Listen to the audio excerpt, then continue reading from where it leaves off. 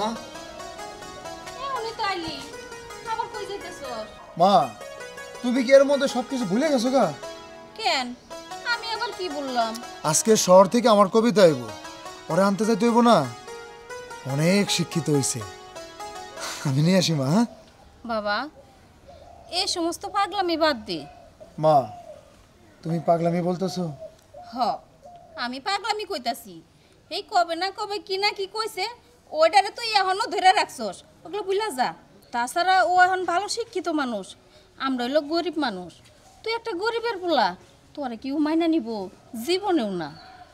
মা, তুমি এতক্ষণ যা বলছো আমি সব কিছুই মানছি। কিন্তু তোমার এই কথাটা আমি মানতে পারলাম না। আমার কবিতারা আমি খুব ভালো করে চিনি। ও আমারে কথা দিছে, ও আমার আমারই থাকব। তোমার সাথে কথা করার সময় নষ্ট করার দরকার নাই, আমি গেলাম।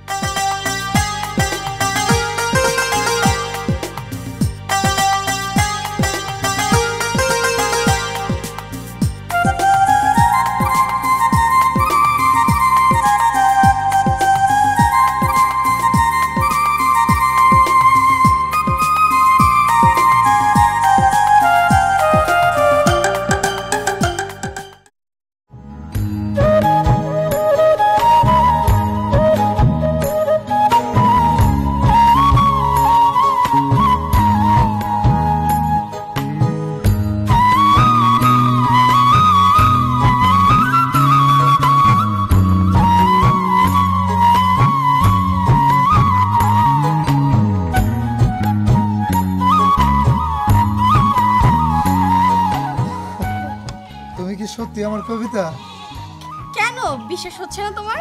না বিশ্বাস হয়। তুমি আগের থেকে মেলা সুন্দর হয়ে গেছো তো। কি যে বলছো না তুমিও কিন্তু আগের থেকে অনেক সুন্দর হয়ে গিয়েছো। আচ্ছা চলো লাকেশটা আমার দাও। আচ্ছা ঠিক আছে চলো।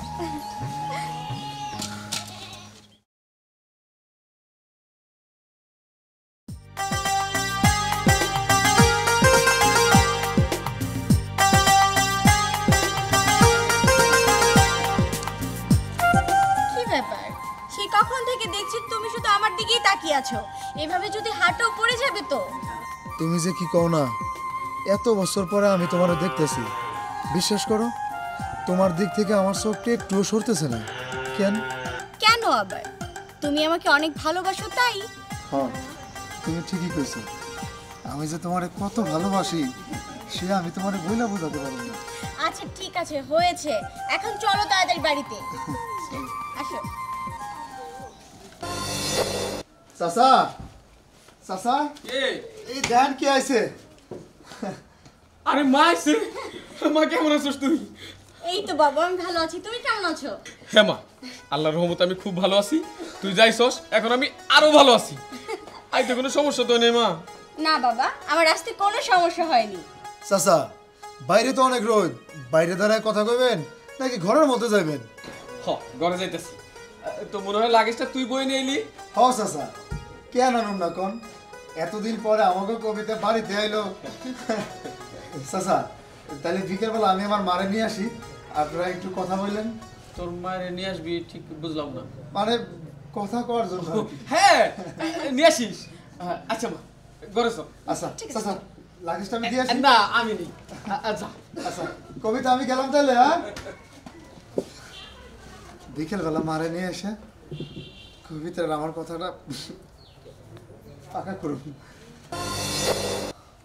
কি হলো মা? আরে বাইর হও না কেন? মা? তুই পাগল হইছস? নিশ্চিত তুই পাগল হইছস। আমি পাগল হইছি। কি কও তুমি এগুলা? হ তুই ঠিকই পাগল হইছস। মা কবিতার বাপের নিজে কইছে বিকেলবেলা তোমারে নিয়ে যাইতে। তোমার সাথে কথা কইব। এই জন্যই দেখো না আমি রেডিও একদম ফিটফাট। চলো। দেখ বাবা আমার যাইবার মন চাইতেছে না। আমি যাম নই বাড়ি কেন যাবে না? আরে বাবা আমি তো তোমারে বারবার বলতেছি যে কবিতার বাপে তোমারে নিজে যাইতে কইছে। চলো তো। দেখ বাবা তুই কেন বুঝতেছিস না? খামা খাজাইয়া অপমান হওয়ার দরকার নাই। বুঝছ নাই আমি যাব না। রে দেখো মা তুমি যদি এখন আমার সাথে না যাও আমার এই দুই চোখ যেদিকে যায় আমি সেই দিকেই যাব। এমনকি তুমি যাব আমার সাথে? হাট আসো। তো আমতা আমতা করার কি আছে? কি কই বেড়াইছো? কইয়া ফেলা। তোমরা তো আমাকে পর না তোমরা আপন মানুষ। না মানে কইতে চাইছিলাম মা এমন করতেছো কেন? তাছাড়া চাচা যেহেতু কইছে আমরা তার আপন লোক কথাটা কও না। আচ্ছা ভাইজান আমি কইতে চাইতেছি কি মানে আপনি গো কবিতারে আমার বাড়ির বউ করে নিয়ে যাইতে চাই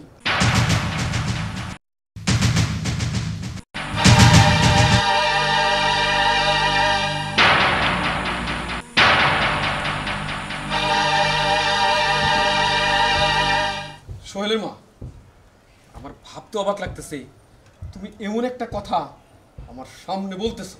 এই মানুষের একটা বিবেক বিবেচনা থাকে। তোমার নাই? চাচা আপনি শুধু শুধু আমার মার সাথে খারাপ ব্যবহার করতেছেন। আমি যেমন কবিতারে ভালোবাসি কবিতাও তো আমার ভালোবাসে। না। আচ্ছা সোহেল তুমি কি করে ভাবলে যে আমার মতো একটা মেয়ে তোমার মতো একটা ছেলেকে ভালোবাসবে? এটা তুমি কি কও কবিতা? সেই ছোট্টবেলায় তুমি আমারে কথা দিছিলা। তুমি আমার ঘরের বউ হইবা। সেই থেকে আমি তোমারে ভালোবাসছি। আমি জানি তুমি আমারে ভালোবাসো। আর এখন তোমার বাড়ির উপরে আমি আইসি বলে তুমি আমার এই সমস্ত কথা শোনাই দিতেছো? দেখো সোহেল আমি তোমাকে কথা শোনাচ্ছি না। আর তাছাড়া ছোটবেলা আমি তোমাকে কি বলেছি না বলেছি সেই সব কথা আমার মনে নেই। আর এখন হচ্ছে আমি কোথায় আর তুমি কোথায় সেটাও তো একবার দেখতে হবে। তোমার লেভেল আর আমার লেভেল না কখনোই এক নয়। আর আমি তোমাকে বিয়ে করতে পারব না। থাক মা আর কই থইব না যাব যা তা বুঝা নিছি। কিরে বাবা? আমি তোরে কইছিলাম না যে ওই বাড়িতে যায় কোনো লাভ হইব না। এখন তো বুঝলি। হ্যাঁ মা, তুমি ঠিকই কইছো। আমি তো এটা কোনোদিনও ভাবি নেই, যার জন্য আমি এতটা এতটা বছর হলো অপেক্ষা করতেছি। সেই আমার এইভাবে অপমান করব। ভুল হয়েছে ব্যবসায়ী। আসলে তেলে জলে কোনোদিনও মিশ হয় না। আমি অন্যায় করছি। চলো মা, হ্যাঁ যাও। একটা কথা মনে রাখো। এই যে কথাটা বললা না তেলে জলে মিশ হয় না। এটা মনে রাখলেই চলবো। আর অপমান বোধ যদি থাকে কোনোদিন আমার মেয়ের সামনে এসে দাঁড়াইবা না। যাও। কি হলো? যাচ্ছ না কেন? যাও।